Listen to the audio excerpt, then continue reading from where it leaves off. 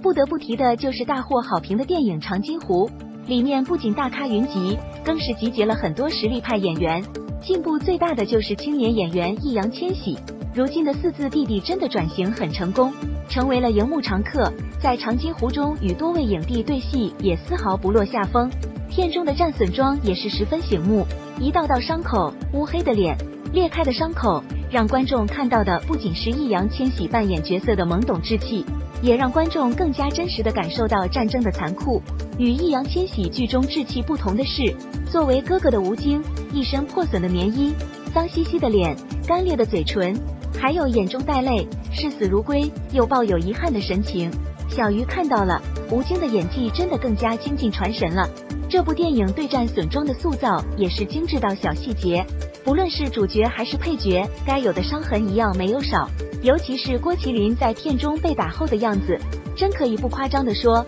被打的郭德纲都认不出。每一处战损妆的细节都体现的很到位，灰头土脸都算是最简单的妆造了。不过在这部影片中，排除钟楚曦佯装歌女的身份，她的战损妆真算是比较干净的了。不过说到战争题材片，就一定要说到经典剧《亮剑》，仅用三十几集就让它成为顶端。而这部剧耐看好看，不仅仅是因为接地气的对白，更是对战争较高的还原。同样是战争题材影视剧，好的作品就是做到精细，一个战损妆就能清楚看出剧组的是否用心。用心的剧组不会被辜负，敷衍的剧组也只会自食其果。看完这么多部影视剧战损妆。或许还是有人会觉得《王牌部队》整体妆造太干净，其实也很正常。毕竟在很多人的印象中，战争片都是如《亮剑》里每个人都是灰头土脸、面朝黄土、面黄肌瘦，十分显老。但每一个时代有每一个时代不一样的样子，